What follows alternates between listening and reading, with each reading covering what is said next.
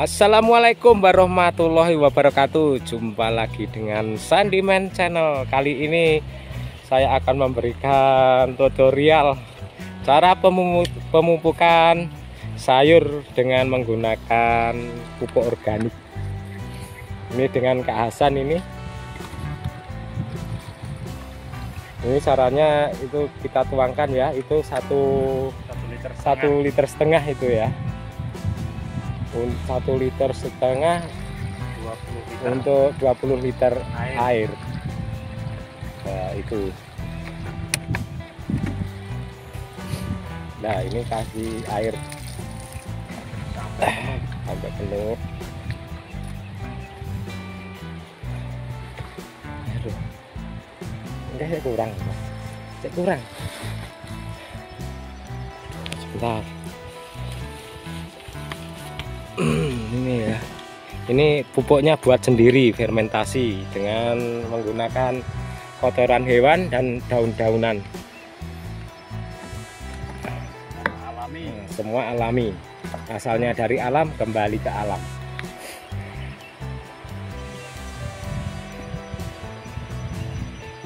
Tuh. Nih. Nih sudah daunnya sudah menghijau ya Nih, ini namanya romen anu sayur romen. Kalau yang ini lotus seperti daun kubis.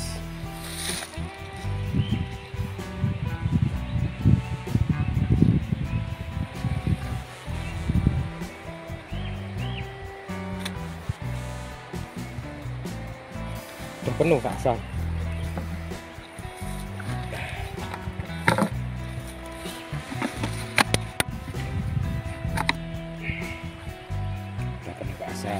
aku tuangkan ya kak San ya.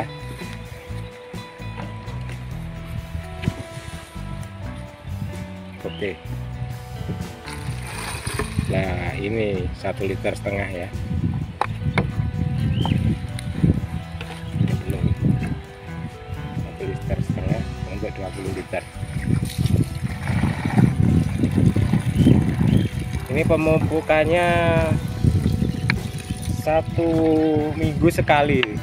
Satu minggu sekali.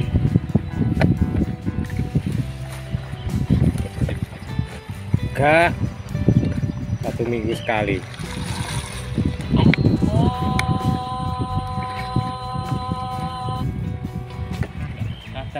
Hmm.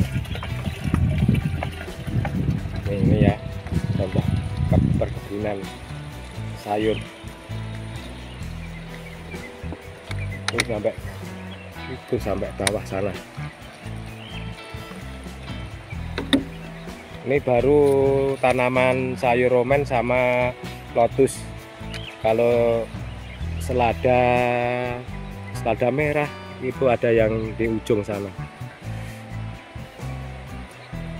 Gimana Kak Sang? Sudah siap? Dah.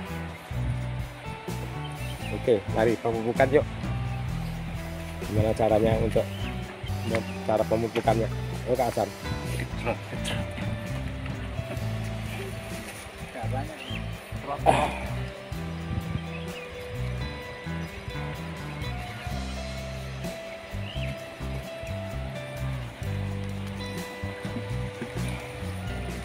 Oke, siap Kak ya.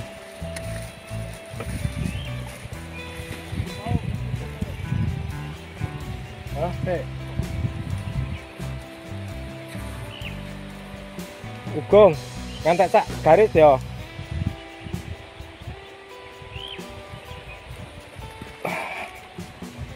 Nah, ini ya. Oke, cara pemupukannya kayak gitu ya. Nah, gini ya.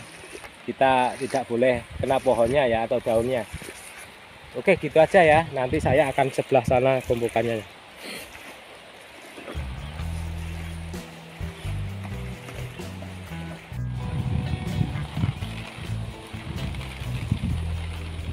Ini ya, cara pemupukan dengan menggunakan pupuk fermentasi sendiri. Yang terbuat dari daun-daunan dan kotoran hewan.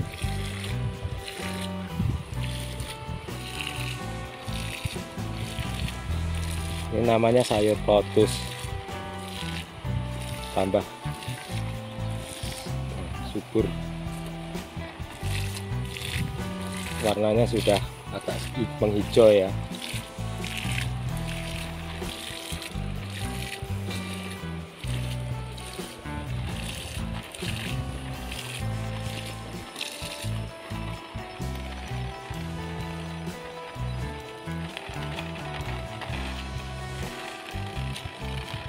Kak Hasan, udah sampai mana?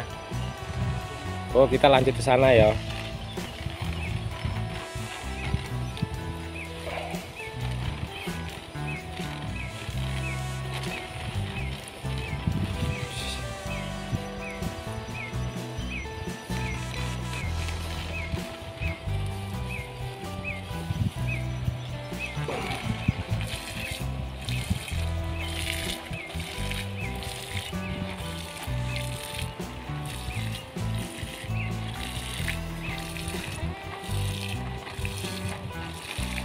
Ini sebentar lagi sudah.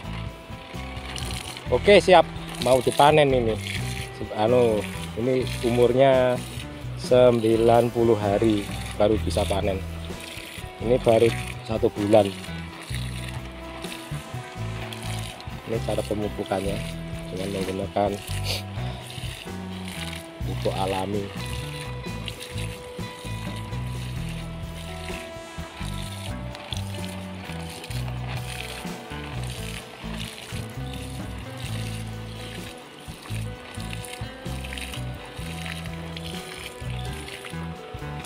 Sebentar, ngisi nanti Kak Hasan.